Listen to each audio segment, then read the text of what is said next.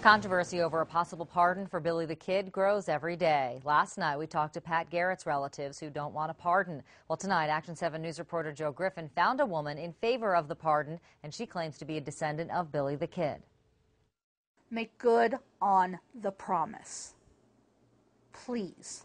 Melissa Bryan says she is a relative of the infamous Billy the Kid. The promise she is talking about is an agreement made between Billy the Kid and New Mexico Governor Lew Wallace back in 1879. That would have erased the kid's actions during the Lincoln County War. Lew Wallace said if you testify against, you know, braiding his guys, I'll give you a pardon. But that pardon never happened after he gave his testimony due to what Bryan and several historians believe may have been meddling by members of the notorious and powerful Santa Fe Ring. Governor Bill Richardson says there are no plans at this time for a pardon, but he is interested in the controversy. Wallace apparently uh, promised Billy the Kid a pardon.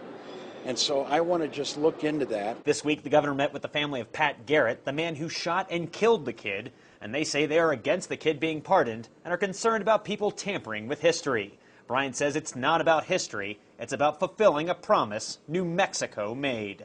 Joe Griffin, KOAT, Action 7 News. Governor Richardson also said he has no interest in exhuming Billy the Kid's body to investigate rumors that the kid wasn't shot and killed by Pat Garrett.